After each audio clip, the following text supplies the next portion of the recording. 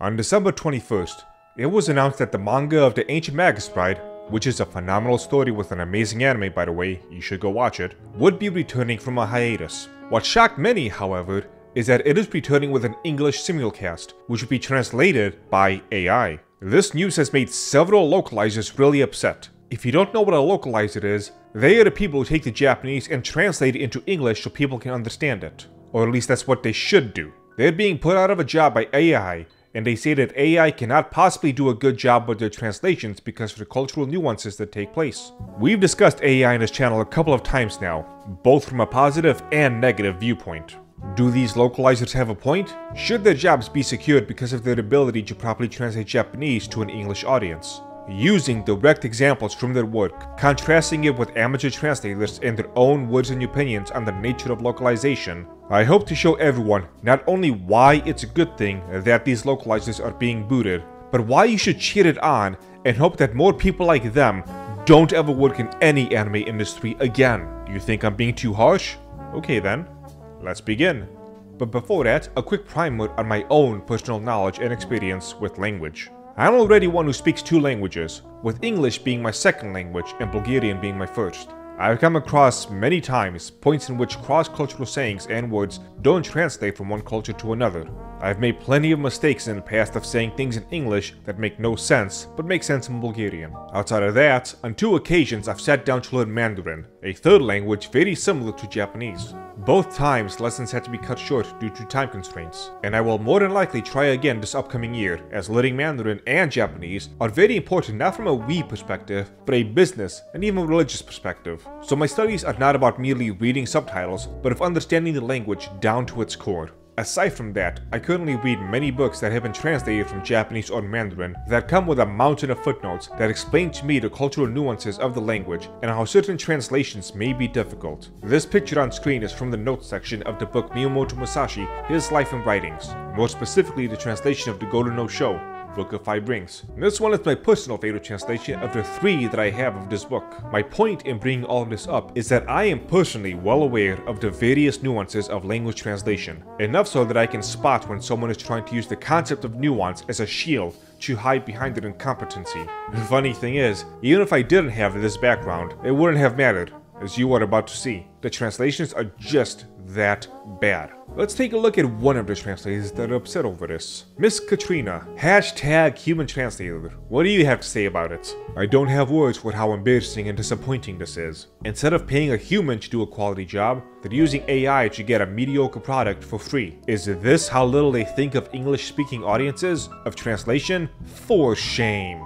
Machine translation isn't smart to handle the audio-visual work like TV, movie, anime, manga, etc. Audio-visual translators are already criminally underpaid, both due to the intrusion of machine translation in the field as a whole, and the demand to work in the entertainment industry. At least show your fans and creators more respect by giving them a human translation. I really wonder if creators know just how badly AI slash MT mangles the words they've crafted. Authors spend so long making sure the dialogue and narrative are written just so. You want to trust Google Translate to handle your prose? Is that how you want your audience to know you? Boy, Katrina, those are some pretty strong, emotional words coming from the human translator, using words like respect, talking about how AI mangles words. Let's take a look at some of the work Miss Katrina has done. Scratch Point over on Twitter, bringing some receipts, says localizers suddenly pretend to care about the creator's words being mangled by machine translation, but their resumes consist of bragging about the rewrites they get away with. It's not about respect, they want to maintain a stranglehold on the translations.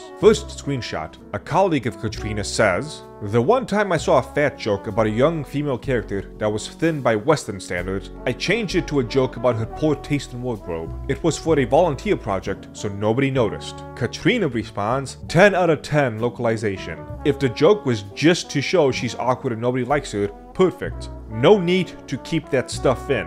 Next, from an anime named Horimiya. She translates a text as, I don't mean to kink shame, but... Somebody else in the comments points out, oh, now they suddenly care about accuracy? I don't know the context, but, the Japanese words, in my mind I translate to, what kind of play is this? How does that translate to kink shaming? Even ignoring all the current today words and internet meme inserts half the time, the subs are not matching what they are saying on screen. They are changing contexts and meanings of their own. No wonder they think AI can do a better job than these people. These people reap what they sow. And finally, for Hood, I am unfortunately doing some of my finest localization work on the anime about the high school girl who was legitimately sexually attracted to a corgi. In the shots, we got four examples. I'm sorry I yeeted you, okay? Any other time, I'd love to be all up in her dress. Nekutani looks like she needs eye bleach. And here I thought you'd have resting bitch face for the rest of your life. Let's look at some more examples of localizers doing a piss poor job. Nagatoro using the word sus, a niche internet slang for people who played Among Us. The reason why this and all the previous examples matter. Let's say I want to show a friend an old anime that takes place in a high school, like Azumanga Daioh or School Rumble. Those shows are two decades old at this point, and I don't want to have to stop episodes in order to explain the internet lingo of the time. Unfortunately, this modern day lingo exists in the dubs as well. You made me feel weak, like there was nothing I could do! But now I'm gonna make you eat those feelings like a teen doing the Tide Pod Challenge!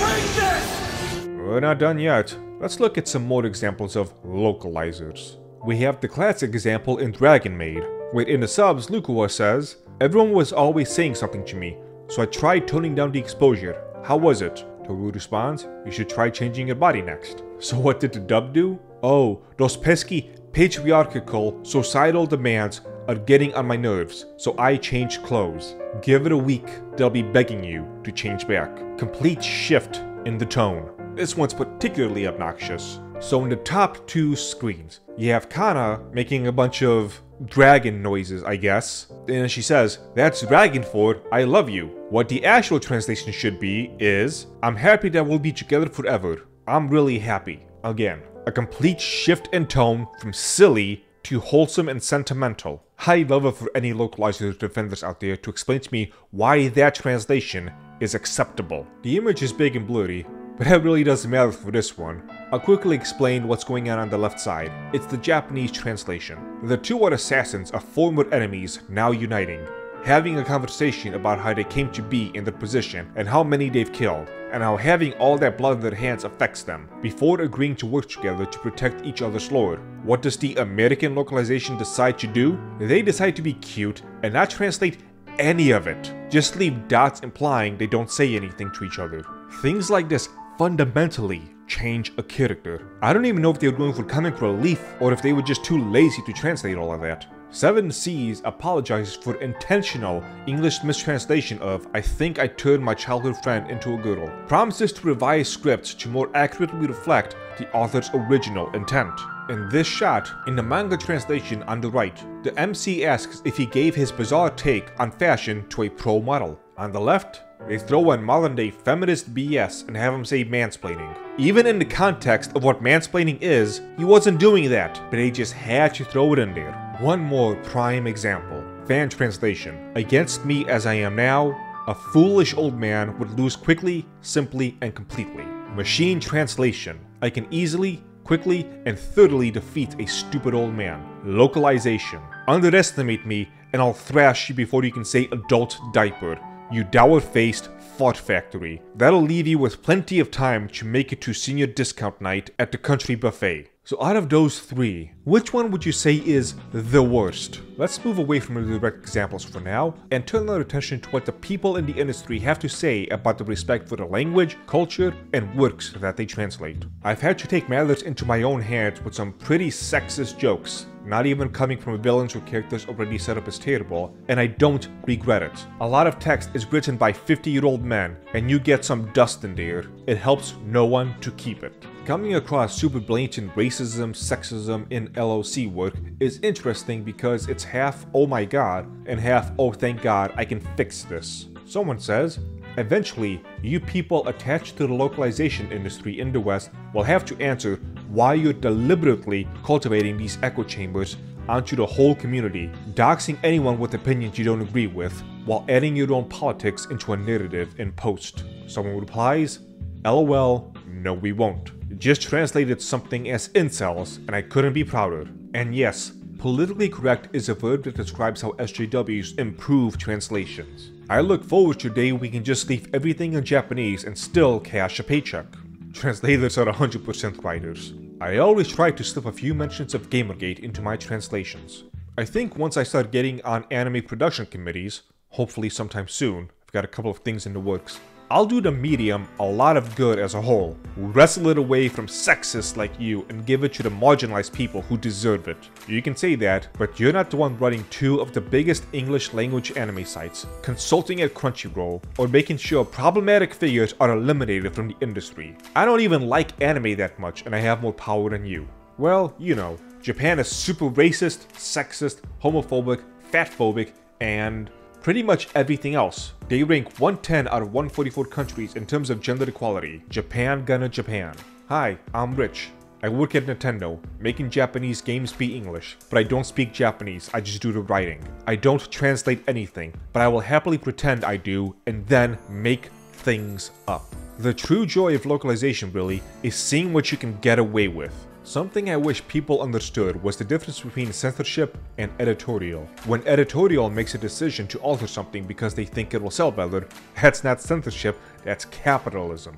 I know I'm opening a huge can of worms, but here goes. As translators, what is the right way to handle offensive content? Who determines what gets left in and what gets censored?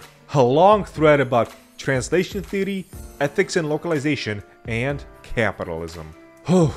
Now that I've gone through all of that, hopefully you can see why I smile at the thought of these people losing their jobs. They disrespect the culture, disrespect the source material, shoehorn in their own politics, and insult anyone who just wants a decent and accurate translation.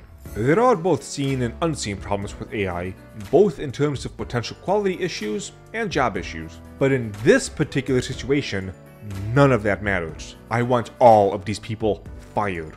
And if AI is the way to get them fired, I will take it. People can clean up poor translations from AI. And like many have for the past several decades, trust fan translations more than these people. It should come as no surprise, but I do love me some anime. Even when everyone told me no, I based half my business identity on anime, so I do take what these people are doing very personally.